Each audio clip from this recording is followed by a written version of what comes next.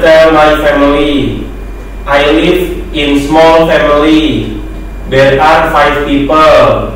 I have one brother and one sister. My brother's name is Budi. He is worker. He work at Garuda. He worked five years. He work at marketing department. He live at Taman Kebalen. He is 25 years old. His hobby is traveling.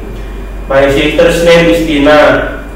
She she is college student. She goes to college at Bayangkara. She is semester one. Her major is management. She lives at Taman Kebalen. She is 18 years old. Her hobby is traveling.